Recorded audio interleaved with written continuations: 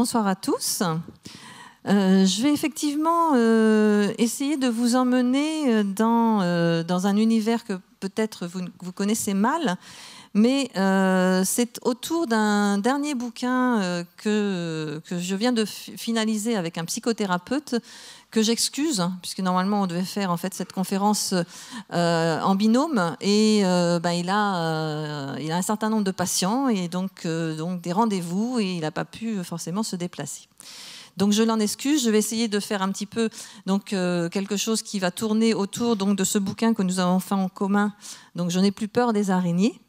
Qui sera donc en vente dédicace après la, conférence. Et euh, vous donner un petit aperçu. Alors pourquoi c'est pas celui-là qui est sur l'écran euh, juste pour démarrer? Euh, C'est que l'initiative en fait donc de, cette, de, ce, de ce livre a été faite donc par Duno. Et j'avais précédemment fait un autre ouvrage, un petit guide Hein, donc sur les araignées, à la découverte des araignées, avec celui qui m'a formé sur les araignées, Alain Canard, qui est de Rennes.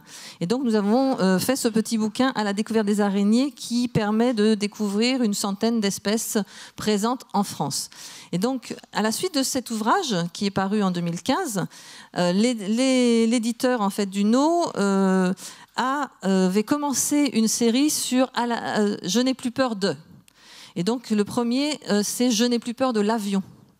Donc ils ont envie de faire une petite série comme ça et euh, ils m'ont demandé à la suite de, la sortie de ce guide de faire Je n'ai plus peur des araignées. Et le principe, effectivement, c'est d'allier un biologiste enfin, ou un spécialiste d'une discipline avec un psychothérapeute qui traite effectivement de ça. Donc euh, j'ai été mis en contact avec euh, un psychothérapeute donc qui, travaille beaucoup en fait en thérapie euh, comportementaliste et cognitive et en particulier qui travaille sur les phobies et sur l'arachnophobie. Alors une des premières questions quand même avant de, de démarrer un peu plus loin, c'est est-ce qu'il y en a justement dans, dans, le, dans la salle là qui sont pas très à l'aise avec OK donc je vois comme ça, là. D'accord. Euh, des craintes, des craintes ou ce que vous considérez être une phobie? Phobie. D'accord. Donc euh, ce, que, ce qui est à l'écran, ce qui est à l'écran gêne déjà? D'accord. Alors je, je, vous explique un petit peu comment. Alors, mais ne rigolez pas comme ça, c'est pas évident du tout, puisque justement l'idée de faire ce bouquin, c'est parce que je reçois moi-même euh, des euh, personnes qui ont des peurs plus ou moins marquées, des craintes jusqu'à des phobies vraiment donc irrationnelles. Euh, et je fais des séances de désensibilisation depuis pas mal d'années ici au muséum. Enfin, ça fait 30 ans hein, depuis ce mois-ci que je suis au muséum. Ça fait quand même une, bonne quinzaine d'années que je reçois des, des, gens avec une approche très progressive. Et les images peuvent gêner hein, de toute façon déjà hein, un certain nombre de personnes. Donc ça, c'est tout à fait normal. C'est une réaction que je connais. Donc euh, je vais euh, essayer d'avancer donc en étant prudente et euh, de même en imaginant qu'il y avait dans l'audition, dans l'auditoire, des personnes qui n'étaient pas très à l'aise, je n'ai pas forcément mis des grosses araignées en gros plan, hein, parce que là c'est quand même assez gros hein, quand on voit ça sur l'écran. Euh, et j'ai essayé de faire justement très attention hein, par rapport à ça. Alors il faut imaginer quand même que celle qui est sur l'écran, en taille réelle, elle est autour de 5 mm. donc on va réduire aussi, n'oubliez pas qu'il y a vraiment une disproportion euh, donc avec euh, l'image qu'on a là et la réalité. Donc cette, idée en fait de faire ce, bouquin sur euh, Je n'ai plus peur des, euh, des, araignées, donc avec Abdelkader Mokedem, euh, nous est venue aussi parce que ben, on a souvent en fait des images ou des représentations dans, dans le tout public ou dans les médias ou maintenant aussi sur, sur Internet hein, énormément, avec des, représentations des araignées qui sont très exagérées, avec une méconnaissance complète. Alors je vais pas vous faire une, le but c'était pas de vous faire une conférence ce soir sur les araignées, c'est un peu, je vais plutôt privilégier un peu l'échange, le, les réponses à des questions, mais je vais juste vous présenter quelques petits éléments. Et en particulier, bon, on a euh, de ce genre de choses dans certaines, dans certaines zones où, euh, attention, on interdit aux araignées, parce que les araignées, forcément, c'est quelque chose qui est problématique. Donc ça, c'est des choses qu'on voit dans la tête des gens et qu'on reçoit en fait aussi comme information. Euh, on a aussi énormément de choses, vous, vous, imaginez bien, si on si on prend euh, certains événements comme Halloween, etc., on a des représentations d'araignées qui sont souvent très négatives. Euh, on a aussi des jeux qui peuvent, euh, pour les enfants, tourner autour des araignées, mais de façon, regardez-le, assez problématique aussi. Hein, danger, attention, araignée. Bien sûr, c'est sur, le, sur le côté symbolique, c'est sur le côté ludique, mais il y a quand même toujours une approche un petit peu négative. Euh, dans l'ouvrage, d'ailleurs, euh, Abdelkader Mokedem explique bien cette euh, différence aussi et cet impact des médias, des lectures, des, émissions, etc., par rapport à cette, cet enracinement de la peur hein, jusqu'à la phobie. La phobie étant quelque chose qui n'est pas une maladie, hein, ça se soigne, il n'y a aucun souci quand on le veut déjà, il y a quand même une volonté derrière. Et c'est souvent des associations d'idées ce n'est pas forcément lié en fait à l'araignée elle-même, mais ça peut être lié à un événement dans notre vie. Alors c'est pas, on va, va pas rechercher ça forcément dans l'enfance. Hein. Ça, euh, les psychologues en sont venus. Hein. On n'a pas forcément des choses qui dans l'enfance sont marquées, etc. Ça peut être le cas, mais c'est pas forcément toujours le cas. Mais on entretient bien ça quand même avec les enfants, malgré tout. Alors que les enfants, je fais beaucoup d'interventions aussi parmi les scolaires, des maternelles, primaires jusqu'au secondaire, et les petits, en général, n'ont absolument pas peur des araignées.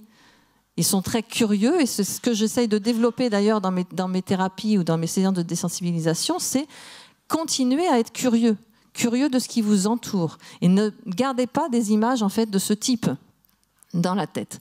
Donc chez les araignées, ben, regardez un petit peu aussi, j'ai repris euh, quelques euh, titres dans des euh, revues, dans des ouvrages, dans des articles de journaux, comment voulez-vous que derrière, il n'y ait pas non plus ces, images, ces peurs hein, qui euh, sont entretenues On a des invasions d'araignées venimeuses. Alors, euh, vous imaginez bien les titres de ce type-là.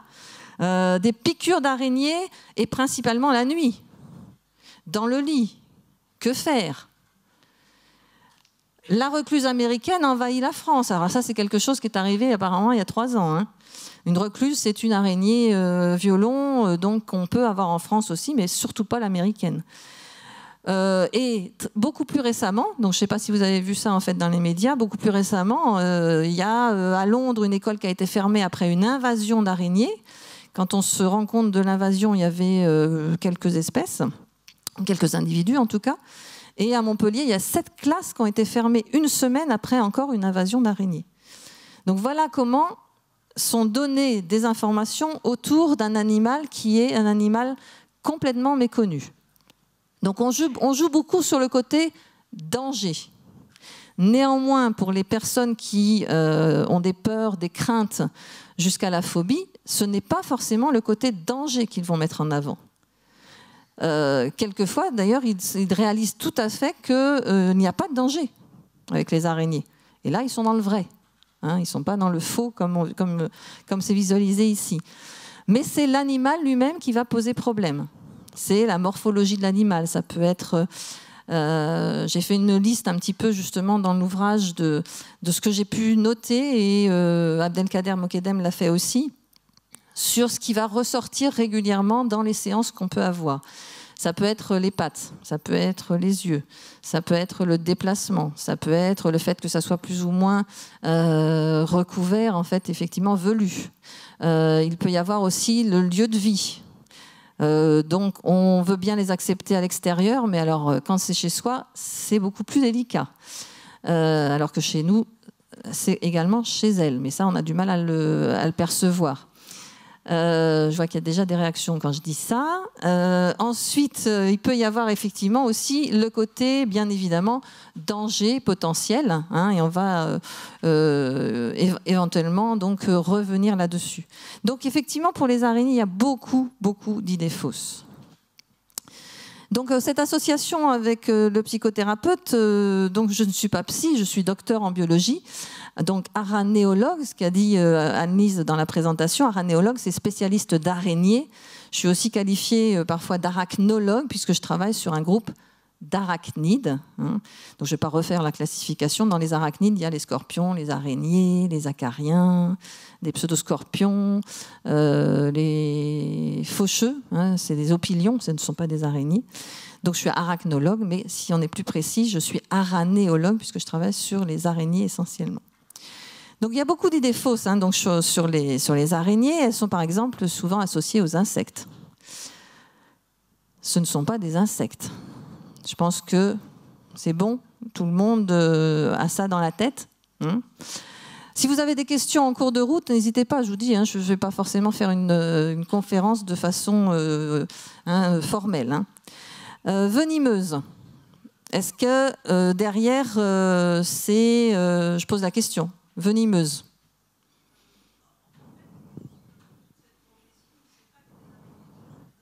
D'accord. Donc du coup, les araignées, alors je vous l'affirme, et je vous donne quelques éléments. Donc les araignées ne sont pas des insectes. Euh, on va donner quelques caractères euh, distinctifs déjà, invisibles. Les insectes ont trois parties dans le corps, tête, thorax, abdomen. Euh, ils ont combien de pattes? Six? Trois paires de pattes? Trois paires de pattes. Euh, et des antennes. OK? Euh, Pour les araignées, deux parties dans le corps. Donc tête et thorax sont réunis en une seule partie qu'on appelle un céphalothorax. Et il y a l'abdomen. Et puis là, il y a quatre paires de pattes, donc huit pattes qui sont accrochés, donc comme les insectes, à l'avant. Et pas d'antenne. Par contre, il y a une petite paire de pattes supplémentaires qu'on appelle les pédipalpes, qui vont palper, qui vont tâter, hein, munis de nombreuses soies sensorielles. Et puis, chez les insectes, on parle de mandibules, chez les araignées, on parle de chélicères, c'est les tiges qui portent les crochets. Donc voilà quelques différence. Donc ça fait quand même depuis très longtemps dans l'évolution que euh, les araignées et les insectes sont sur des, branches évolutives complètement différentes. Hein. À la limite, les insectes sont plus proches des, des mille pattes euh, et des crustacés que des araignées. D'accord? Donc euh, avant c'était tout réuni, hein, toutes ces petites bêtes là, un petit peu, on connaissait pas trop. Et il faut vraiment faire la distinction entre araignées et insectes. C'est bon pour la distinction du coup? Ok. Alors, venimeuse. Est-ce que les araignées sont venimeuses? C'est une question qui m'est souvent posée.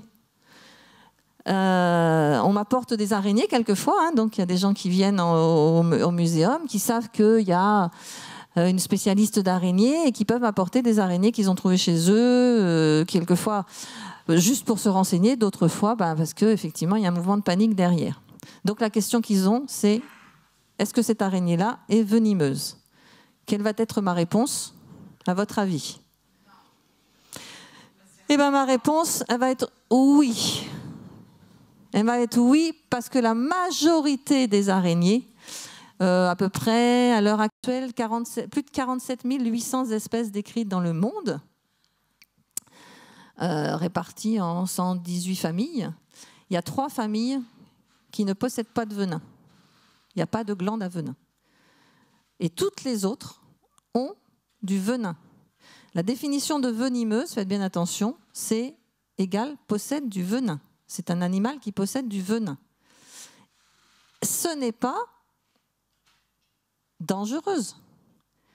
Le venin n'est pas forcément quelque chose qui va être dangereux, et sous-entendu bien évidemment dans la question, c'était pour nous, pour l'homme. Donc il faut complètement distinguer venimeux et dangereux pour l'homme. une araignée est un animal venimeux. Un scorpion est un animal venimeux. Il y a des serpents qui sont des, serpents venimeux. Ils possèdent du venin. À quoi ça va servir le venin, à votre avis? Pour ces animaux-là En priorité. Hein. Pas pour se défendre. Attention. Pour attaquer les proies. Pour manger. Donc, fonction principale du venin chez des animaux venimeux, la nutrition. Grâce à ce venin, ils vont tuer ou paralyser les proies et pour beaucoup faire même une exodigestion de la proie. C'est-à-dire qu'il y a des enzymes dans le venin qui va liquéfier les tissus des proies et ensuite elles vont faire une prédigestion externe et absorber en fait cette bouillie ou ce liquide. Donc ça joue dans leur nourriture. Et de temps en temps, elles vont l'utiliser pour se défendre, mais rarement Et pour beaucoup de ces animaux venimeux, quand il y a morsure de défense vis-à-vis d'un prédateur hein, ou de quelqu'un qui va essayer de les enquiquiner un peu, bah, c'est des morsures sèches, blanches. Il n'y a pas d'injection de venin. Elles ne sont pas dans la phase de nourriture, elles sont dans une action, de défense. Et de temps en temps, oui, il y a, il y a euh, injection de venin. On ne sait pas exactement ce qui va déclencher ça ou pas. Hein, on, sait que par exemple pour les serpents, il y a 70% des morsures de serpents vis-à-vis de l'homme qui sont dites sèches. Hein, il y en a 30% où il y a injection de venin. Ça dépend des espèces, ça dépend des individus. Mais pour la majorité des araignées, déjà les morsures sont très rares et la plupart du temps c'est complètement inoffensif. Alors est-ce qu'elles sont toutes sombres et poilues? Non, hein, quand même pas. Euh, est-ce que j'ai bien utilisé le bon terme? Je vais être à cheval sur les termes en fait. C'est poilu une araignée ou pas? Velu, je veux bien, euh, mais poilu, je veux pas. Pourquoi? Parce qu'en fait, qu'est-ce qu'elles ont sur le corps, les araignées, à votre avis? Si je dis que c'est pas poilu. Voilà. Donc elles ont des soies ce qui est complètement différent. C'est pas la même insertion que les, poils. Et en plus, les soies, des araignées sur les pattes en particulier sont des soies sensorielles qui vont leur permettre de ressentir tout l'environnement. Des soies qui vont avoir les, cinq sens, les quatre sens, goût, toucher, odorat et oui. Et après, bien sûr, elles ont des yeux, la vue. Euh, ben, combien d'yeux du coup? Pour beaucoup, huit. 6, c'est aussi pas mal pour beaucoup de familles. Quelquefois 4, 2 ou 0 pour celles qui vivent dans des cavernes, hein, qui ont perdu la vision. Donc euh, le terme approprié pour parler de, du revêtement des araignées, c'est soyeux. Est-ce que c'est plus positif dans la tête déjà? Hein? Quand même, oui?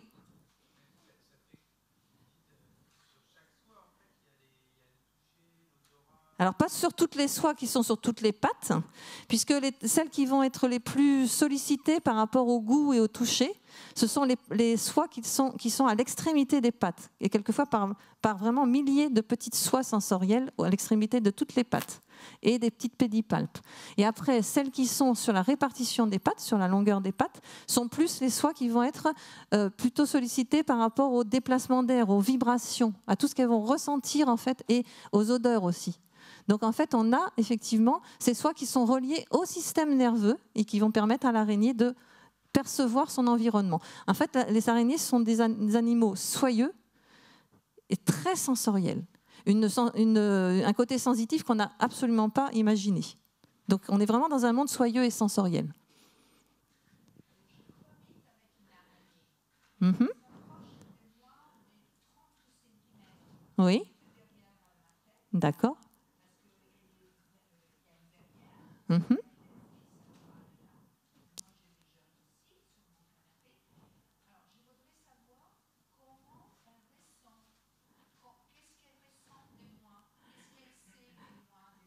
Ah. Alors je vais, oui.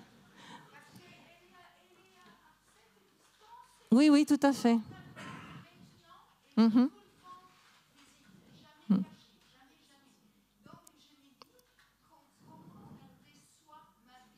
Alors, alors écoutez, en fait, je, reprends effectivement si tout le monde n'a pas entendu. Euh, vous vous demandez comment l'araignée peut percevoir en fait un individu, hein, d'accord? Euh, Alors je suis désolée, hein, je vais peut-être un petit peu vous choquer, mais euh, l'araignée n'a aucune sensation vis-à-vis de nous. Nous ne sommes qu'un, je vais vous dire, hein, qu'un support, qu'un élément dans l'environnement. D'accord? Elle n'a pas de perception, elle n'a pas d'interprétation de, ça, c'est un mammifère. Hein, ça, c'est l'espèce humaine, d'accord?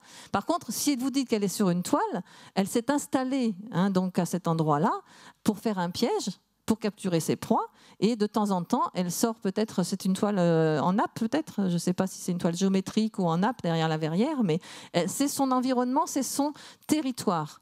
Donc elle, va ensuite percevoir l'environnement, les, déplacements, etc. Mais il n'y a aucune, il a aucune possibilité de relationnel avec l'araignée, d'accord? Donc ça, c'est, dans l'état actuel de nos connaissances, il n'y a rien de tout ça. Il y a un système nerveux, il n'y a pas un cerveau, il n'y a pas de reconnaissance, il n'y a pas de peur, il n'y a pas de douleur, il n'y a rien de tout ça dans l'état actuel de nos connaissances. D'accord? Alors je vais avancer un petit peu. Est-ce qu'elles tissent toutes des toiles? Puisqu'on parle de toiles, vous faites la liaison. Est-ce qu'elles tissent toutes des toiles? Non. Il y a des araignées qui font des toiles en nappe, en réseau, en tube, des belles toiles géométriques comme on a l'habitude de les voir, et d'autres qui ne font absolument pas de toiles pour chasser. Elles vont chasser à court, en courant au sol, elles vont chasser à l'affût sur des fleurs, elles vont chasser en sautant, hein. elles ont des gros yeux et elles voient leur proie à une certaine distance. Alors n'oubliez pas que la majorité des araignées, c'est petit. La plus petite araignée, à votre avis, elle fait, elle fait quelle taille? Un 0,4 mm, taille adulte, sans les pattes, jusqu'à la plus grosse. Alors tout ça, je l'indique aussi dans le bouquin, justement. C'est des informations que je donne pour mieux rentrer et connaître le monde des araignées. On a peur de ce qu'on ne connaît pas. Quand on va rentrer dans la connaissance, c'est déjà une première, étape pour soigner justement cette peur. Jusqu'à 13 cm de taille de corps pour la plus grosse, Hein, à peu près, 13 à 15 cm, sans les pattes. Mais la majorité des espèces sous les tropiques ou en Europe, en France, c'est autour de 5 mm. D'accord? Donc c'est petit. Et toutes ne tissent pas de toile. Alors, d'autres choses que j'ai entendues régulièrement, alors bon, on a des petites choses, pardon, on a des petites choses comme ça. Ça, ce ne sont pas forcément des toiles, hein. ça, ce sont des fils de déplacement. Les araignées ont toujours des fils au derrière, oui, et elles se déplacent en fait en laissant leur fil derrière. Et ça leur permet aussi de repérer et de revenir quelquefois sur leurs pas, et éventuellement au moment de la reproduction, quand les mâles cherchent les femelles, de revenir et de sentir les phéromones qui ont été laissés sur ces fils de déplacement. Mais là, ce n'est pas une toile, ce sont des fils de déplacement. Euh, je me demandais, enfin, vous dites 15 cm, 13 cm. de taille de corps, sans les pattes. oui. Mais avec les pattes, ça fait combien du coup? Euh, Alors, avec les pattes, alors on dit, quelquefois pattes étalées. Euh, elles n'ont jamais les pattes complètement étalées. On est dans des animaux dans des arthropodes, arthro articulés, podes, pieds, pattes articulées. Euh, elles ont donc des pattes articulées. Hein. il y a des articles au niveau des pattes qui correspondent d'ailleurs en fait aux os de nos, de nos jambes. Hein. c'est exactement les mêmes termes. Et les pattes, elles sont comme ça. Mais si on étalait les pattes de cette araignée de 13-15 cm, ça ferait euh, la taille d'une grande assiette, à peu près allez, 30 cm d'envergure, quelque chose comme ça. Voilà. Hein. Alors attention, ne vous mettez pas dans la tête taille égale danger, grosse taille égale danger. Ça n'a rien à voir. Donc les grosses araignées de grande taille ne sont pas dangereuses pour nous. Alors, dans les idées reçues, et ce que j'essaye d'enlever aussi, c'est euh, bah, j'ai entendu régulièrement qu'elles pondaient sous la peau. Est-ce que ça vous paraît euh, plausible? Est-ce qu'elles ont un organe qui va permettre de perforer une peau? Non. Donc ça, c'est complètement irréel. Ça, c'est des films de fiction. Les araignées ne pondent pas sous la peau. Donc, si vous avez quelqu'un qui vous dit, qui a entendu que quelqu'un a dit que, etc., euh, ça, c'est faux. Les araignées ne le font pas. elles n'ont pas de tarière ou de quelque chose pour pondre sous la peau. Elles déposent leurs œufs qui sortent de l'abdomen dans de la soie et elles entourent leurs œufs de soie hein, et ne vont pas mettre ça dans une plaie ou autre chose. Alors, les boutons du matin c'est forcément une piqûre d'araignée. Ben oui. Hein. Ben non. Hein. on va peut-être arrêter ça aussi, un peu. Euh, dans 99% des cas, ce n'est pas des araignées qui ont provoqué des boutons le matin. Vous avez bien d'autres animaux chez vous. Je vous ai encore, je vous ai dit tout à l'heure, chez nous, c'est chez elles, mais c'est chez aussi beaucoup, beaucoup d'autres animaux qu'on voit peut-être moins souvent que les araignées, mais qui sont bien présents. Il y a des acariens, il y a, tout un tas de choses dans les poussières. Il, peut y avoir des petits pseudoscorpions, donc d'autres arachnides. Euh, il y a énormément, en fait, euh, je vous dis d'acariens en particulier. Il peut y avoir des petites mouches euh, qui se baladent, il peut y avoir des moustiques, il peut y avoir des moucherons, il peut y avoir des punaises de lit. Je suis désolée, il y a un petit peu de recrudescence de punaises de lit depuis quelques temps. Donc pourquoi mettons-nous ça sur le, dos des araignées? Parce qu'éventuellement, on en a vu une grande qui finissait sa nuit pendant que nous, on était en train de dormir. Elle a fait son office d'insecticide naturel dans l'habitation et on l'a vu. Donc la liaison est faite. Et c'est exactement ça d'ailleurs dans les phobies. Hein. C'est ce qu'explique d'ailleurs Abdelkader Mokedem. Des phobies, ce sont des associations d'idées. Et on peut se les enlever, ces associations d'idées. Donc là, hop, bouton, araignée. Et la majorité du temps, c'est absolument pas les araignées qui ont provoqué des boutons. Et éventuellement, même si, parce que j'ai pas dit 100%, donc euh, même s'il y a 1%, c'est une araignée qui à un moment donné a été dérangée, a mordu en se défendant, et on a fait une petite réaction locale, c'est pas très grave. Hein. Donc on essaye de diminuer complètement cet aspect-là. D'ailleurs, une, maison avec des araignées, ça fait partie des idées reçues qui sont vraies. Une maison avec des araignées est une maison saine. Alors, on, on anthropomorphise hein, quand on dit ça. Une maison saine, c'est qu'on n'a plus rien euh, à l'intérieur de la maison, soi-disant. Mais on a toujours d'autres animaux. Et par contre, l'araignée joue son rôle d'assainisseur quand même, puisqu'elle elle se nourrit de quoi? D'insectes, de, ben voilà, de, cafards, de mouches, de moustiques, euh, d'acariens, etc. Donc, entre guillemets, de mythes, par exemple, qui vont dans les vêtements, et donc elle assainit notre habitation. Donc, une maison saine, c'est grâce à l'araignée. Hein. elle ne vient pas dans une maison où il n'y a plus rien à manger, sinon elle ne resterait pas. Oui? Oui, juste une petite question liée au bouton. Est-ce qu'il est exact qu'on peut repérer un bouton ou une morsure d'araignée au fait qu'il y ait deux petites marques alors qu'il y a une piqûre euh, unique pour le. Alors c'est vrai, c'est vrai, mais en fait, euh, quelquefois, il y a des gens qui ont retenu ça, effectivement, hein. euh, et qui me montrent deux boutons espacés d'un centimètre. Donc là, non. Sincèrement, là, c'est une réaction allergique à quelque chose. Il faut que sur la zone où on voit quelque chose, qui est quelquefois repérable, mais à la loupe, hein, d'accord Il peut y avoir deux, deux tout petits points. Voilà. Parce qu'il y a deux crochets et qu'on parle bien chez les araignées non pas de piqûre mais de morsure. Donc ça mord en fait. Hein. Et d'où le fait que la majorité des araignées ne peuvent pas physiquement, mécaniquement mordre notre peau puisque les crochets sont beaucoup trop petits. Et que c'est bien des morsures. Donc si on me montre un bouton sur le front bien tendu, comment voulez-vous que l'araignée avec ses deux crochets arrive à, essayer de faire, de faire une morsure là-dessus? Donc en général, ce n'est pas des araignées qui ont fait des boutons sur le front. C'est autre chose. Donc en fait, on associe beaucoup ça. Mais vous allez voir le pharmacien et le médecin, il, peut vous dire, euh, c'est peut-être une araignée qui a fait ça. Hein. Donc il faut quand même aussi euh, qu'il travaille là-dessus. Et puis alors les dernières qui sortent aussi, c'est qu'on en avale hein, des araignées pendant notre sommeil. Alors là, euh, énormément. Mais alors, selon les sources, c'est variable. Hein. Donc les sources que qu'on ne connaît en général pas d'ailleurs. Mais euh, les araignées ne vont absolument pas dans la bouche quand on dort. Elles n'ont absolument pas envie d'aller dans ce trou euh, un peu béant là qui fait des, ronflement ou qui euh, voilà a une certaine odeur, etc. Mais c'est pas du tout, du tout le milieu de vie des araignées. Elles ne vont pas dans notre bouche quand on dort. Donc on enlève tout ça.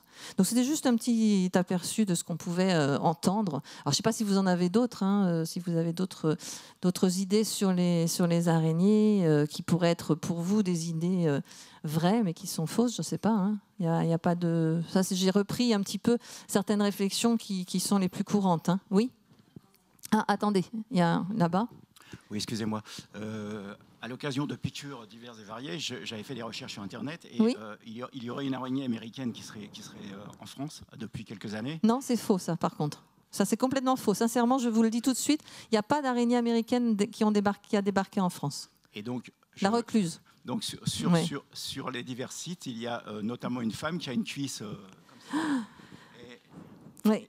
Alors, voilà. c'est l'exemple en fait qu'il y a eu il y a trois ans. Effectivement, une dame s'est fait mordre par une araignée qu'on appelle les araignées violons. Euh, qui sont euh, appelle, ce qu'on appelle des loxocelles. Ces araignées violons ont un petit dessin en fait sur le céphalodrac en forme de violon, donc euh, d'où leur, nom. Et dans ces araignées violons, il y a une araignée qui est américaine, une espèce américaine qu'on appelle la Loxocelles reclusa, qui est surnommée la recluse. Et quand cette, femme a été euh, mordue, donc là c'était une morsure avérée, elle avait mis son pantalon, et elle a senti un petit truc. Et euh, cette, euh, araignée violon française, et non pas américaine, européenne plutôt, est effectivement présente dans le sud. Donc elle a senti quelque chose et elle a tout de suite fait une réaction assez marquée au niveau de la cuisse. Le chirurgien qui l'a vu ensuite, puisque ça s'est un petit peu étendu, hein, assez rapidement étendu, euh, a été cherché sur Internet et a vu qu'il y avait une araignée violon, la recluse américaine, qui provoquait ce type de réaction, sans avoir regardé la bête. Hein. Et, et, ça y est, les journaux s'en sont emparés, les médias aussi, c'était la catastrophe. La recluse américaine débarque en France. Je vous certifie que dans toutes les études qu'on fait et les inventaires qu'on fait en France, nous n'avons jamais trouvé la recluse américaine. Mais ce que ne savait pas le chirurgien, c'est que nous avons une aussi araignée violon en France qui ressemble euh, morphologiquement complètement. Donc quand on n'est pas spécialiste et qu'on ne va pas regarder les organes génitaux pour savoir quelle espèce c'est, nous ne savons pas faire la différence morphologiquement quand on n'est pas spécialiste. Et donc j'ai eu ensuite, j'ai été mise en contact avec cette personne et avec des journalistes qui m'ont téléphoné en disant alors qu'est-ce que vous pouvez nous dire sur cette recluse américaine qui débarque? J'ai dit j'en sais rien, je ne peux pas savoir, j'ai pas vu la bête. Qui l'a déterminée? Est-ce qu'elle a été récupérée? Il se trouve qu'elle avait été récupérée. Elle m'a été envoyée pour expertise. C'était un, petit mâle, hein, donc d'araignée violon. J'ai donc pu, avec une araignée adulte, regarder les organes génitaux du mâle. C'était notre espèce européenne, l'Oxocélès rufescens, et non pas reclusa. OK? Et donc après, j'ai eu le chirurgien au téléphone qui m'a dit, je suis vraiment désolée, désolée, désolée d'avoir effectivement été à la, base de euh, tout ce qu'il y a eu dans les médias ensuite. on va rectifier le tir et on a fait un, article du coup euh, scientifique avec la bonne identification, et les explications qu'il y avait derrière. Mais effectivement, ce sont des araignées qui ont un venin nécrotique, qui n'ont pas neurotoxique comme la majorité des araignées. Et donc ça fait des sortes de nécroses de la peau, comme des brûlures, qui sont plus ou moins marquées selon les personnes. Mais en général, c'est anodin, il n'y a rien. Mais de temps en temps, dans, euh, la littérature, en particulier en Amérique du Sud, ils ont quand même quelques petites morsures par, par leur loxocéleste, justement. Il y a à peu près 10% des cas de morsure où il y a des patients qui vont, provoquer, qui vont avoir des réactions plus marquées avec des, choses qui sont impressionnantes. Hein. Ça fait vraiment des nécroses qui vont s'étendre. Et le chirurgien a lui-même avoué qu'il n'aurait jamais dû intervenir sur la, sur la femme. Il aurait dû nettoyer, faire en sorte que petit à petit, surtout, ça ne s'infecte pas. C'est surtout la surinfection qui est problématique. Là, il l'a opéré, il a fait une belle cicatrice de 10 cm. Et il a dit si j'étais pas intervenu, il n'aurait pas de cicatrice. Tout, tout serait rentré dans l'ordre sans aucun problème. Comme des, comme des brûlures, quelquefois, qui sont très longues à cicatriser, mais qui cicatrisent.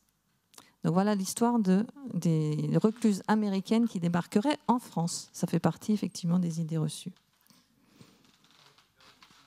Comment? Alors on ne parle pas de recluse pour la France, parce qu'en fait, elle ne s'appelle pas reclusa, elle s'appelle rufescens. Donc on n'a pas de recluse à proprement parler. Sauf que les Américains, pour toutes les araignées violons, donnent le groupe recluse. Voilà, c'est tout. Hein. Mais ce n'est pas la même espèce. On n'a pas l'espèce américaine en fait en France. Oui? Ah, il y avait les araignées. C'est vrai, j'avais oublié celle-là aussi. Les araignées bananes. Les araignées bananes. Euh, alors, euh, les araignées bananes, euh, on en aurait trouvé effectivement dans des régimes euh, donc qui serait venu de. Enfin, on en aurait trouvé. On en a trouvé dans des régimes qui, viennent de République dominicaine, etc. Et hum, ce sont des araignées euh, qui sont assez réactives au dérangement. Hein, pour la, vraiment la véritable araignée banane, c'est une famille particulière qu'on appelle Ecténidés. Et c'est des araignées réactives, donc si elles se sentent agressées, elles sont tout de suite en position d'intimidation, pattes levées, où elles vont crocheter. Et la morsure de ces araignées-là est très douloureuse. Ce n'est pas mortel. Encore une fois, aucune araignée n'est mortelle dans le monde. Hein. Ça, ça aussi, il faut enlever ça de vos têtes. Euh, c'est très douloureux. il se trouve que ça a été pris aussi euh, par les médias euh, quand il y a eu un, cas de morsure par une araignée banane, ce qu'on appelle les phoneutria. En fait, c'est un, genre particulier parce que la douleur fait que pour ceux qui, c'est tropical, hein, pour ceux qui vivent avec, on a constaté dans un grand nombre de cas des douleurs marquées qui sont persistantes et en particulier du priapisme chez les mâles chez les hommes. Donc du coup, euh, bah, ça a fait un petit peu des vagues et ils ont voulu à un moment travailler sur un nouveau Viagra à partir du venin de ces araignées-là. Mais c'est parce qu'il y a une très très grosse douleur. Mais c'est pas mortel non plus. Non. Alors je, répète parce qu'en fait vous n'avez pas le micro, donc tout le monde n'entend peut-être pas. Il y avait une question derrière, mais bon, je, dans le web, etc. Je vais y revenir. En fait, non, c'est des araignées, c'est des migales d'Australie, euh, où il y a eu quelques cas de mort Hein, des gens qui ont mal réagi ou qui ont fait une crise cardiaque, mais ce n'était pas le venin direct. Et il y a quand même un sérum maintenant pour cette araignée-là en Australie. Il y avait eu 13 cas de mort en 60 ans avant qu'il fasse le sérum. Voilà. Oui, vous dites que vous dites que les araignées assainissent les maisons. Bah, c'est un peu la, c'est le petit, la petite idée, euh, l'adage populaire en fait. D'accord, voilà. Et paradoxalement, quand on voit une araignée, on dit que c'est sale. Oui, euh, notamment les enfants disent bon, vous n'avez pas fait le ménage. Enfin, voilà. oui, bah ça c'est, oui, oui, oui, tout à fait. Mais en fait, on associe complètement les restes de fils de l'araignée qui euh, se balade et qui laisse des fils ou la toile qui est abandonnée et qui prend la poussière. Donc oui, ça fait sale ça. D'accord? Mais l'araignée elle-même, elle est absolument pas sale. On associe la bête avec les restes de fils qu'elle va laisser ou des restes de proie, en fait. Ce qui est complètement différent. Donc vous pouvez faire le ménage, vous enlevez les fils avec la poussière, c'est sûr, mhm. c'est normal. Hein Mais vous laissez les bêtes.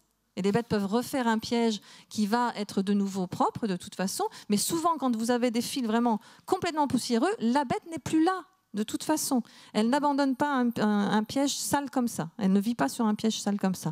Et l'araignée elle-même est propre, ne transmet pas de maladie, n'a pas de virus, va, se nettoie régulièrement en faisant des toilettes de chat, puisque je vous ai dit au tout début, elles sont sensorielles et qu'elles ont besoin de, que les soies soient opérationnelles pour sentir tout leur environnement. Donc elles font, elles passent leurs pattes dans leur, dans, entre, les, entre les crochets, elles, se passent leurs pattes sur les yeux, elles passent leurs pattes sur le corps, etc. Elles font des toilettes de chat, véritablement, quand on sait les regarder. Attends, oui. Non, je disais parce que euh, moi je vois souvent les mouches faire la toilette, elles font énormément de toilettes. Mais bien sûr, quand on sait regarder les animaux, il y a beaucoup d'animaux qui se font des toilettes. Hein. Ce sont des animaux qui sont très sensoriels. Alors, juste une petite comparaison. Je, voulais vous mettre un petit schéma pour, vous, pour accentuer un petit peu mon propos de tout à l'heure. C'est-à-dire que si on compare en fait des envenimations et des décès par morsure ou piqueur d'animaux venimeux, vous avez bien compris ce que sont les animaux venimeux, hein, possèdent du venin. Euh, quand on parle d'envenimation, c'est donc il y, a eu contact, piqûre, morsure. Donc la majorité des contacts qu'on peut avoir, c'est avec les insectes. Effectivement, donc guêpes, abeilles, etc. Euh, les tans et tout. Les serpents ensuite. Euh, en jaune, les scorpions, et ensuite, à peu, près à part égale, les animaux marins et les araignées. Donc vous voyez déjà, en termes de contact avec, avec ces bêtes-là, c'est très, très, très, très peu. Et Ensuite, si on fait effectivement le petit camembert des décès, les décès les plus importants sont dus aux serpents. Ça, c'est plutôt euh, visible en Amérique du Sud, euh, en Afrique et en Asie. Euh, essentiellement d'ailleurs en Amérique du Sud, avec certains serpents, même s'ils ont beaucoup de morsures sèches sans venin, ceux qui injectent du venin peuvent attaquer des mammifères. Nous sommes des, gros mammifères, et euh, là, le venin peut agir sur des mammifères. Ensuite, regardez la petite part du camembert, c'est euh, les scorpions. Scorpions, c'est autour de entre 2000 et 3000 cas de morts chaque année dans le monde entier.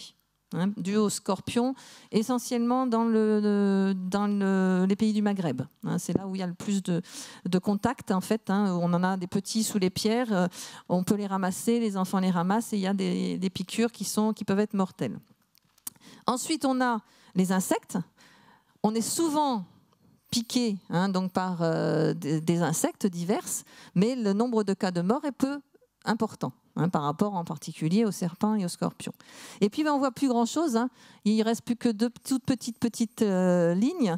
Ça correspond aux araignées aux animaux marins, et ça correspond à, dans le monde entier, des cas de mort qui sont dus en général à des infections, voire des surinfections à l'endroit de la morsure, et non pas à l'action directe du venin.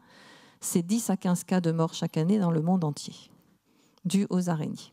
C'est juste pour accentuer. Alors c'est un, schéma que j'ai repris en fait d'un ouvrage de deux collègues avec qui j'avais fait un ouvrage sur la fonction venimeuse. Donc Jean-Philippe Chipot et, Max Waffon qui sont des médecins et qui travaillent l'un et l'autre sur les serpents et les scorpions. Et donc c'est euh, un constat qui avait été fait en 2006 qui n'a pas beaucoup évolué depuis. Donc voilà quelques informations générales. Alors bien sûr, on a souvent cette image-là. Hein. Ça, ça va en général. Hein. Ça, c'est le côté positif de, des araignées. elles construisent des super toiles quand même, hein, bien géométriques, etc. Donc ça, c'est super joli. Avec les gouttelettes de rosée le matin, c'est vraiment euh, fantastique. Mais toutes ne font pas des toiles comme ça, je vous ai dit. Alors il y a des toiles en nappe, en tube, etc. Et puis elles font, bah, celles qui font pas de, toile. Alors je vous ai mis quelques petites images un petit peu naturelles pour euh, voilà hein, changer un petit peu. Euh, là, il y a une petite araignée qui est dans une loge de soie. Hein. donc, euh, je ne sais pas si vous voyez l'animal. Donc, il est, hop là, que j'appuie sur le bon truc. Euh, elle est ici, hein, et dans une petite loge. Alors c'est une araignée qui chasse la nuit et qui, dans la journée, donc la soie est toujours utilisée par les araignées. Euh, bah, elle se fait une sorte de petite retraite hein, dans laquelle elle se tient euh, au repos. Les araignées ne dorment pas, il y a des phases d'activité et de repos. Et puisque je parle des fils de soie, donc je vais vous indiquer un petit peu des choses aussi sur les fils de soie. Si, je ne sais pas si vous aviez aussi cette question dans la tête, mais je vais en reparler après. Donc voilà euh, quelques photos, quelques images. Est-ce que, est que ça passe là pour ceux qui n'étaient pas très à l'aise ou pas? Hein, Donc vous me dites. Hein. Bon, elle nous fait coucou à travers un trou de feuille. Hein. Donc ça, c'est deux petites araignées qui font 4-5 euh, mm, qui ont une vision euh, assez importante et elles chassent en sautant sur leur proie. On les appelle les araignées sauteuses. Elles ont énormément aussi, celles-ci, vous voyez, tout ça, ce sont des soies. Ah, je parlais tout à l'heure de juste une petite information générale, si vous souhaitez. Euh, je parlais de mâles et de femelles. Est-ce que euh, vous connaissez la différence entre les mâles et les femelles d'ailleurs? Est-ce que certains connaissent? Non? Donc c'est la seule, différence en fait. Bon, il peut y avoir des couleurs différentes, des tailles différentes, mais les mâles sont pas toujours plus petits que les femelles. Mais ici, au niveau de cette petite paire de pattes, je vous ai dit tout à l'heure, c'était des pédipalpes. Chez les femelles, c'est fin, donc comme le bout des pattes. Hein, il y a des soies bien sûr, hein. mais chez les mâles, ça se renfle en une sorte de boule. Donc, euh, qui correspond, alors c'est pas le terme scientifique, hein, c'est bulbe copulateur. Ça va servir à la copulation, à stocker les spermatozoïdes et à pouvoir les transférer chez les femelles. Donc en fait, si vous repérez une araignée, si vous essayez de les observer différemment, vous regardez pour reconnaître un mâle d'une femelle si au niveau des pédipalpes à l'avant, il y a des boules. D'accord? S'il y a des boules, c'est un mâle. S'il n'y a pas de boules, c'est une femelle. C'est facile à se rappeler, je pense. Regardez celle-ci. Donc celle-ci, 3 mm de taille. 3 mm de taille, elles ont été découvertes euh, en Australie. On les appelle les araignées pan. Donc une petite araignée sauteuse avec des gros yeux à l'avant qui sont les yeux directs et qui lui permettent de, voir. Et c'est un petit mâle, vous voyez les boules là? Voilà. Hein. et quand son abdomen donc est au repos, il est à l'arrière et il est avec un voile mais qui est fermé. Et au moment de la reproduction, ces petits mâles vont faire des danses nuptiales en levant leur abdomen et en faisant le pan devant la femelle. Donc on les appelle les peacock spiders ou les araignées pan. Et c'est quelqu'un qui les a découvertes euh, il y a, quelques temps, là, à plusieurs espèces qui ont des, des, colorations au niveau du voile complètement différentes. Et voilà les petites araignées qui, souvent, par rapport à des grosses, des maisons un peu noires, velues, hein, et qui courent vite, donc c'est l'image focalisée sur justement euh, la peur des araignées. On a souvent, quand je reçois les personnes, c'est autour de la tégénère des maisons. C'est dans notre environnement. Et on ne va pas aller chercher ailleurs ce qu'il peut y avoir, alors qu'il y en a des, de couleurs très très différentes, de formes différentes, avec des mœurs différentes. Donc cette petite araignée sauteuse, elles sont souvent mieux perçues dans le public. Et elles sont souvent utilisées d'ailleurs avec leurs gros yeux. Alors certains ça leur fait bizarre de voir des gros yeux, hein, donc elles ont l'impression qu'il y a une, fixation en fait pour la pour la pour l'araignée. En fait, ces araignées euh, voient dans leur, euh, euh, à, une distance très courte. Hein. Elles ont une bonne vision, mais c'est une vision, vous imaginez, elle fait 3 mm. Je vous rappelle, il faut se mettre à son niveau, hein, dans son monde à elle. 3 mm. Donc la distance, en fait, c'est autour d'une, allez, de 30, 40 fois sa taille, ce qui est déjà quand même pas mal. Ça fait des, records de longueur quand même hein, quand elle saute. Hein. Mais c'est ça sa vision. Et c'est des visions fixes. Elle ne peut pas faire de mise au point. Donc je reviens pour tout à l'heure. Elle ne nous voit pas. On est un élément dans l'environnement. Elle voit des différences d'ombre, de lumière, des formes. Et après, pour arriver à visualiser bien, il faut qu'elle s'approche. Hein, d'accord Et donc ces araignées-là, ben, elles sont souvent bien perçues avec leurs gros yeux. Et du coup, il y a des choses plus positives que ce que j'ai montré au tout début. Voilà. Il y a des petits comme ça en fait avec les araignées sauteuses. Alors il y en a un qui, il y a une petite chose qui, qui avec des petites vidéos aussi sur internet qui sortent avec, euh, je ne sais plus comment il s'appelle, Nicolas, je crois, ou je ne sais plus comment il s'appelle, cette petite araignée. Luca, ah oui, c'est voilà, c'est ça, c'est Luca. J'avais bien qu'il y avait un A à la fin, mais je ne me rappelais plus le, le, prénom. Et donc, en fait, elle explique tout un tas de choses, elle est mimi comme tout. Hein. Donc là, il y a des côtés positifs quand même. Et celle-ci, regardez, je te débarrasse des mouches et de tous les moustiques. En échange, tu me fais la lecture autrement qu'un coup de journal sur la tronche. Hein. Donc c'est quand même super ça. Hein. Et on utilise pratiquement tout le temps les araignées sauteuses avec leurs gros yeux. Donc il y a une, bonne, une meilleure perception en fait de ces araignées-là. Alors on va laisser, j'espère que je vous, ai laissé partir un petit peu au gré des, araignées. Bon, je vous, dis, je ne vous fais pas une conférence sur toutes les araignées, hein. mais on va se laisser emporter parce que les araignées volent et que les petites araignées vont, au moment où elles vont se disperser, dans, beaucoup, beaucoup d'espèces, hein, même si toutes ne le font pas, elles vont lever leur derrière, émettre des fils et grâce à ces fils se laisser emporter comme des aéronautes. Donc c'est souvent en fait ce qu'on voit à certains moments de l'année, des recouvrements. Alors ça c'est une photo qui a été prise en Australie, où on a parlé encore dans les médias de catastrophe parce que c'était une pluie d'araignées qui arrivait. Donc encore une fois, on met quelque chose de négatif, alors que c'était quelque chose de complètement naturel. Et quand les journalistes m'ont téléphoné en disant mais on a ça chez nous, c'est pas possible. Ben si, on a ça à certaines périodes de l'année quand tous les jeunes vont s'envoler ensemble avec leurs fils au derrière, que les fils vont aller sur la végétation et qu'une fois qu'elles sont arrivées, ben, les araignées se déplacent et laissent encore plus de fils. Et c'est toutes ces milliers d'araignées qui sont parties en même temps et qui ont laissé des fils sur la végétation. Et ensuite, ça se détruit. Mais ça fait spectaculaire. Hein. Et donc, les araignées volent avec leurs fils de soie. Puisque les araignées, ce sont des animaux qui sont non seulement recouverts recouverts de soie, donc de sorte de poils, hein, non pas de poils, mais qui produisent des fils de soie.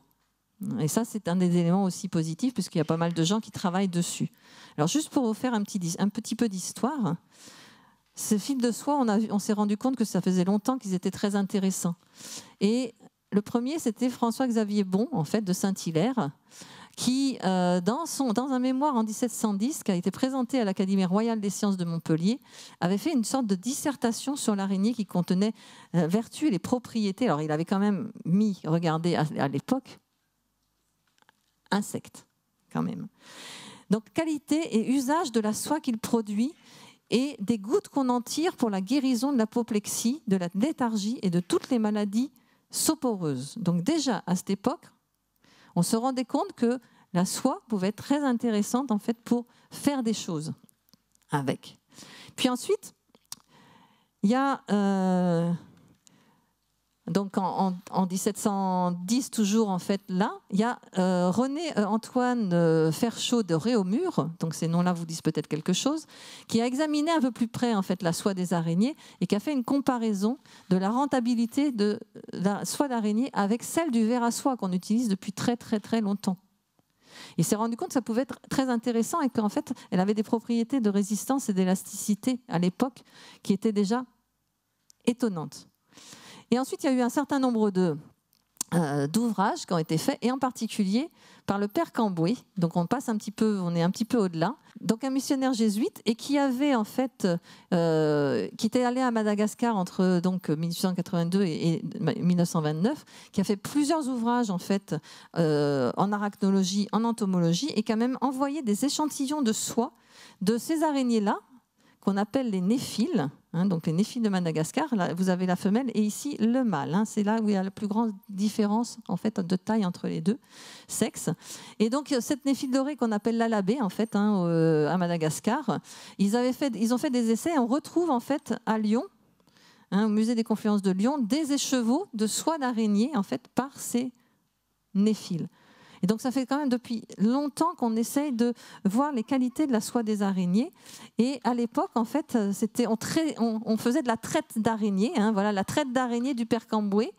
Donc, et la première école d'araignéiculture a été faite en, en 1896 à Tananarive.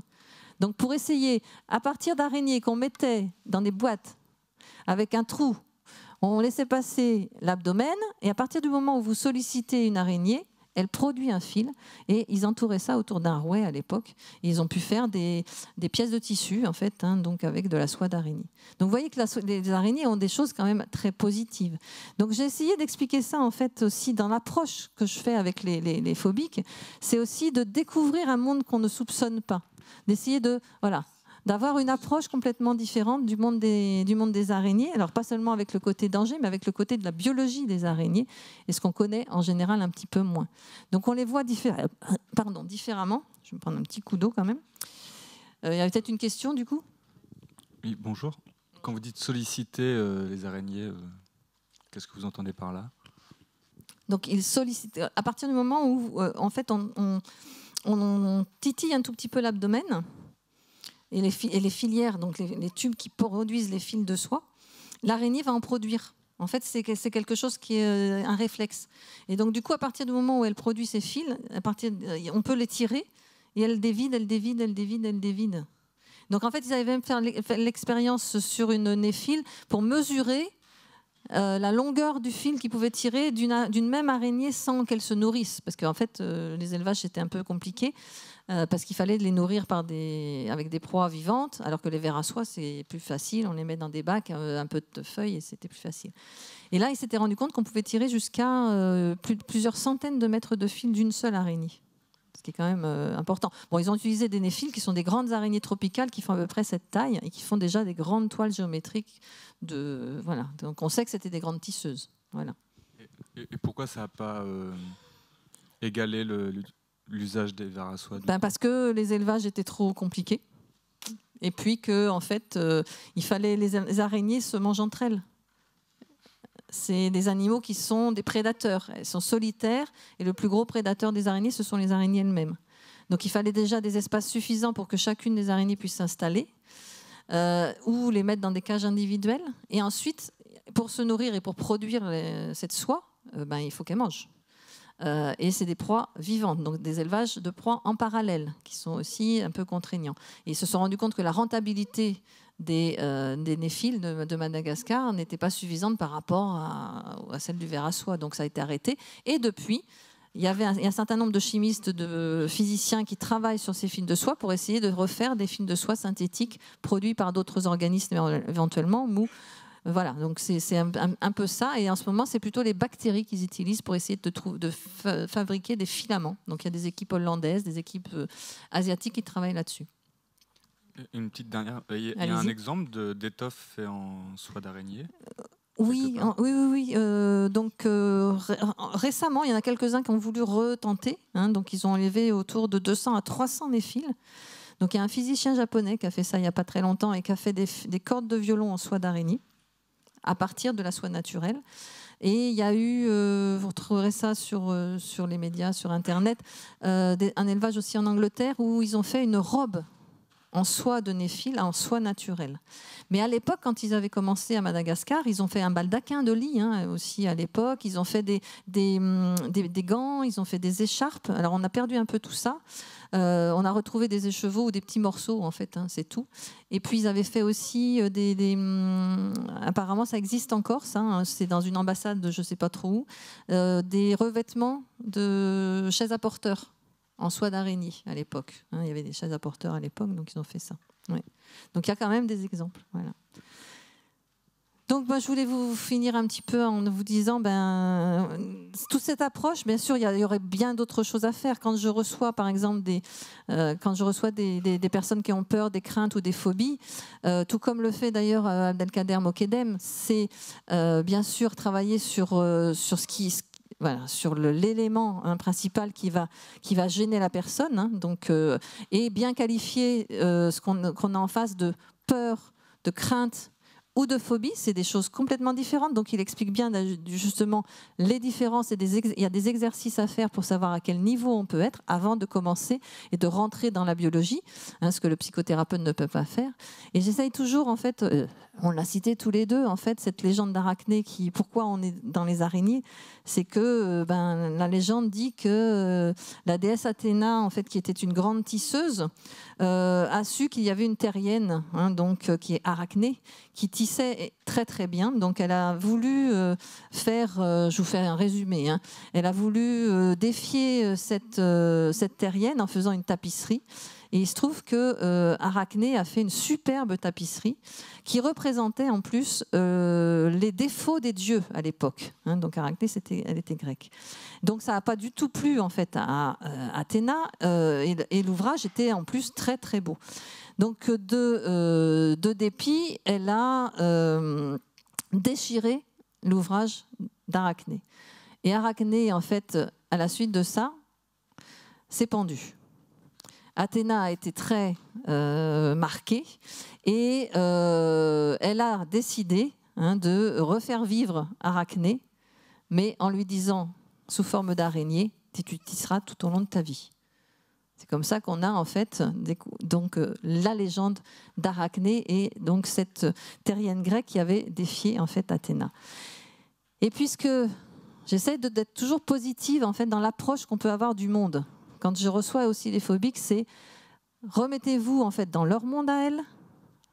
Si c'est l'araignée elle-même qui fait peur, donc on va travailler là-dessus. Euh, sur les représentations qu'on peut en avoir, qui sont complètement différentes, euh, différentes en fait des cultures. Et cette peur, cette phobie, elle est culturelle. Elle n'existe pas dans d'autres peuples, dans d'autres pays, dans d'autres régions du monde. Le terme de phobie n'existe pas. Et on va essayer de, rentrer en fait plutôt dans les légendes et dans les contes positifs. Nous, on en a des négatifs. Dans plein d'endroits, il y a des positifs, et en particulier en Afrique. On a une autre légende, c'est la légende d'Anansé. Donc, c'est une petite représentation. Et la légende d'Anansé, alors j'ai pas toute reprise, mais j'ai repris quelques phrases qui disent Nous descendons tous de la petite araignée Anansé. Le monde, c'est notre vaste toile. Où que nous allions sur la toile de ce monde, l'amour nous y mène. Et toujours il existera des fils qu'il faudra savoir saisir. Donc quand je reçois des phobiques, j'essaye de leur faire saisir certains fils de l'irrationnel vers le rationnel et de leur donner des éléments qui vont leur permettre de réfléchir et d'avoir des clés qui leur permettent d'avancer dans cette connaissance. Ça peut être travaillé aussi du coup avec la psychothérapeute derrière. Mais il y a d'autres fils qu'il faudra savoir lâcher. Parce que ces associations d'idées qu'on peut avoir quand on est phobique, c'est ça qu'il faut travailler, qu'il faut lâcher pour essayer de comprendre un petit peu ce qui se passe. D'accord? Donc j'espère que à travers ça, vous, vous, ferez comme un petit peu les Amérindiens. Vous laisserez euh, s'exprimer de beaux rêves autour des araignées et avec ce capteur de, ce capteur de rêve, ce capteur en fait de cauchemar qui vont, qui vont rester en fait dans la toile et les rêves vont s'exprimer. Donc ces attrapeurs de rêves, c'est vraiment très très très joli et très euh, symbolique. Donc j'espère que vous regarderez les araignées peut-être un peu différemment. Alors c'est pas une séance, hein. séance, euh, je vous donne des éléments. Quand je fais des séances, c'est des séances de 2 heures, 3 heures, 4 heures voire plusieurs séances hein, pour arriver à faire passer le cap. Donc dans l'ouvrage, j'essaye d'expliquer un petit peu cette démarche progressive que je peux avoir justement quand je reçois des gens. Et donc, ben, essayer de plus avoir peur. Et je vous remercie beaucoup.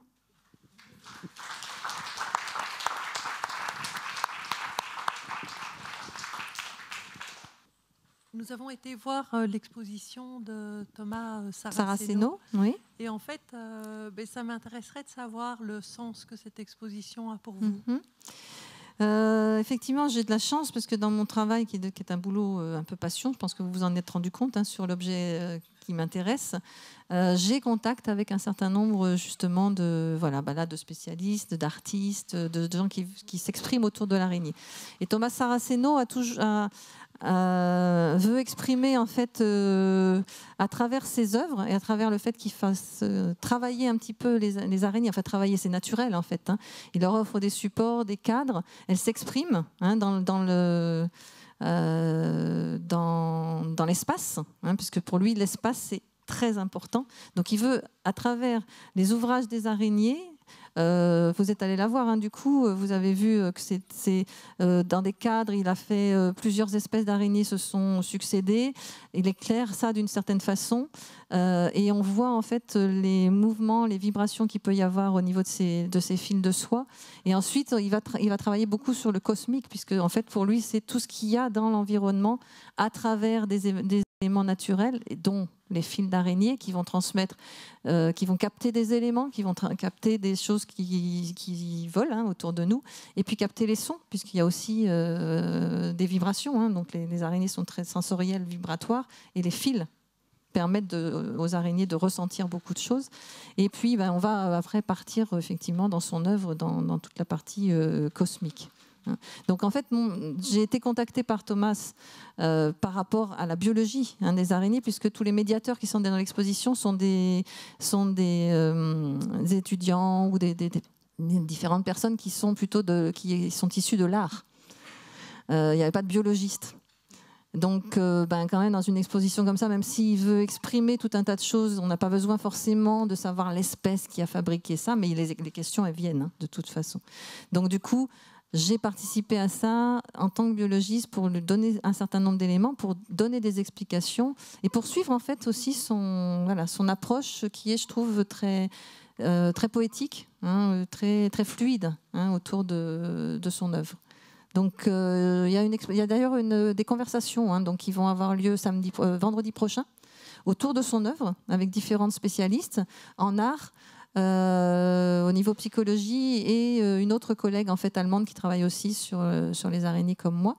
Et puis le samedi, je referai une visite un peu plus guidée dans l'exposition et peut-être encore dans, pour découvrir les araignées naturellement qui sont dans le palais, dans les, dans les dessous du palais, les arrières du palais. Palais de Tokyo. Palais de Tokyo. Il se trouve qu'il y a deux expositions liées aux araignées en ce moment le Palais de Tokyo avec Thomas Saraceno et l'exposition au Palais des Découvertes qui est l'exposition Poison. Euh, vous n'avez pas parlé de la tarentule. Non, bah, je, vous dis, je ne faisais pas une conférence sur les araignées. Hein. Il y avait une approche un peu différente euh, ce soir. Euh, donc, la, donc, la tarentule? Avec le réchauffement climatique, il ah. paraît que. Voilà. ah il y a beaucoup de mélange là-dedans. Euh, la tarentule, c'est une espèce en fait d'araignée euh, européenne, qui est une araignée loup qui court au sol, qui fait de la chasse à court, qui est assez grande taille, et qui avait été nommée la Lycosa tarantula, qui a été découverte en fait dans la ville de Tarente en Italie, dans les Pouilles, d'où son nom Lycosa tarantula. C'est la tarentule européenne qui n'est absolument pas une migale. Et euh, la légende disait que quand on était mordu de la tarentule, hein, il fallait danser une danse très particulière qu'on appelait la tarentelle sur des rythmes de plus en plus endiablés. Euh, la tarentule est complètement inoffensive et elle provoque absolument pas ça. Hein. donc ça, ça fait partie des légendes. Donc euh, la tarentule est inoffensive complètement.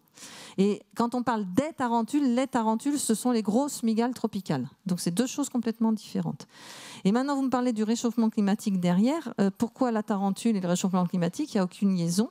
Mais bien évidemment, pour toutes les araignées, euh, les changements globaux, je ne vais pas parler que de changements climatiques, les changements globaux vont bien, évidemment impacter les euh, populations d'araignées comme tout un tas d'autres animaux. On le voit, de toute façon, il y a des déclins de la biodiversité tout autour de nous. Hein. Donc les populations sont en train de chuter. Donc ça, c'est un fait. Et les araignées, on n'a pas d'études à proprement parler, de comparaison entre ce qui existait avant et ce qui est maintenant. On n'est pas assez nombreux au niveau des, arachnologues et puis d'avoir des suivis depuis très très longtemps. Surtout que naturellement, les, les animaux ont des cycles biologiques qui peuvent être sur une dizaine d'années. Donc il faut attendre d'avoir quand même une évolution naturelle pour avoir des conclusions à faire. Néanmoins, il y a des chutes, en particulier au niveau des populations d'insectes. De quoi se nourrissent les araignées Principalement d'insectes. Donc, bien évidemment, si elles ont plus suffisamment à manger, même si elles peuvent jeûner assez longtemps, il va y avoir un impact. C'est évident. Et qu'est-ce qu'on fait aussi en ce moment? C'est pour ça que je parlais de changements globaux. Il y a quand même des gros changements au niveau de, des pratiques euh, agricoles, des déforestations, des assèchements de, milieux humides. Donc si on continue comme ça, c'est sûr qu'on va à la catastrophe. Donc il faut prendre conscience que tous ces, tous ces éléments-là vont bien évidemment perturber aussi les araignées. C'est normal, c'est quelque chose de... Enfin, je, vous fais, je vous fais une réponse rapide hein, et un peu synthétique. On pas, je ne vais pas rentrer dans les détails. Alors, il y a une avant-dernière intervention. Madame, vous pouvez nous signaler un ouvrage? Oui, je ne sais pas si vous étiez au courant, moi j'ai trouvé ça par hasard, la belle histoire de Leuc le lièvre, et avec euh, euh Gargone l'araignée, je vous ai fait une photocopie au cas où vous ne connaîtriez pas. Gargone l'araignée, je connais, mais merci, parce que c'est vrai que oui, tout à fait. et le prochain, livre que je vais, le prochain livre que je, que je vais faire et qui sortira l'année prochaine, ça sera autour des, des contes et des légendes pour les enfants et euh, il y aura des petits des personnages et des choses comme ça. Parce que je vous ai dit tout à l'heure que la que notre peur était assez culturelle et dans tout un tas d'autres pays il y a beaucoup plus de légendes de contes qui sont beaucoup plus positifs. Et donc ça peut être intéressant de voilà de, de suivre un petit peu euh, ces contes et ces légendes avec un petit personnage pour euh, rentrer dans leur monde. Un ouvrage coécrit par Léopold Senghor justement ce que j'ai entre les mains. Une toute dernière question et après on, on rejoint Christine là-haut euh, oui, moi je ne suis pas spécialement terrorisée par euh, les araignées, mais depuis que j'ai été voir l'exposition au Palais de Tokyo, je finis par l'être. Parce que dans, dans cette exposition, il parlait euh, de la vitesse de déplacement des araignées. Or, j'ai toujours pensé que je pouvais prendre mes jambes à mon cou, que ça ne posait pas de problème, mais tel que lui le raconte, c'est ahurissant. Alors, euh, à la fois sur la, longueur des sauts que pouvaient faire euh, des araignées, et, à un moment donné, il dit qu'une toile d'araignée peut faire le tour de l'équateur en huit jours. Vous, n'avez pas du tout parlé de cette idée de déplacement qui permet bah. finalement de se sauver nous en cas de pépin. Mais, mais en fait, vous vous positionnez mal au départ, entre, si je peux me permettre. C'est-à-dire que pouvoir, pour, pourquoi fuir en fait euh, l'araignée et faire des, voilà, des, des, concours de vitesse là? Toutes les araignées ne se déplacent pas vite. C'est pas toutes les araignées. Encore une fois, ne généralisez pas chez les araignées. Certaines ont des déplacements rapides, en particulier celles qui courent au sol et qui vont chasser leur proie en courant. Celles qui sont sur les toiles, quand elles sont sur le sol, elles sont gourdes. Hein. Euh, elles ne font pas des déplacements rapides. Donc c'est quelques espèces qui ont des déplacements rapides. Et de toute façon, face à une araignée, en général, que fait l'araignée face à nous, gros prédateurs qui faisons des déplacements d'air quand on se déplace à côté d'elle C'est la fuite. Et heureusement, elle fuit assez vite. Donc elle fuit, on n'a pas de course de vitesse à faire. Elle fuit de toute façon. Et donc bien évidemment, vous, évoquez quelque chose qui, est évoqué régulièrement par des phobiques ou des gens qui ont des craintes, c'est la rapidité de déplacement. J'ai peur qu'elle vienne vers moi, mais comme elle ne le fera pas, de toute façon, ça ne fait pas partie de sa biologie. Elle va fuir un prédateur ou elle va courir après ses proies.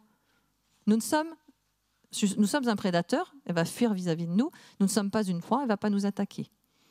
Donc il faut essayer de voir pourquoi ça vous gêne en fait d'avoir effectivement cette vitesse de déplacement. Moi, je trouve plutôt ça spectaculaire. Ça ne fait, pas, voilà. Pourquoi je craindrais qu'une araignée se déplace vite et aille plus vite que moi? Oui. Ben, c'est normal, elle a, elle a, beaucoup de rapidité pour capturer ses proies, c'est bien. Soyez plutôt en disant Waouh, c'est super rapide. Elle capture ses proies rapidement. Il faut qu'elle capture ses proies rapidement. Elle en a besoin. Dans son mode de vie, elle doit capturer ses proies rapidement et la, crocheter et injecter son venin. Ça fait partie de son mode de vie. Mettez-vous à sa place. Plutôt essayer de comprendre ce monde-là, mais sans en vous dissociant complètement. Vous êtes euh, voilà, dans une autre découverte. Et puis en fait, le fait que euh, bah, des fils, bien évidemment, elles peuvent tisser, tisser, tisser, tisser, tisser, tisser. Elles ont toujours des fils derrière et ça fait partie de leur caractéristique, produire des fils de soie. D'accord? Oui, on va être obligé d'arrêter.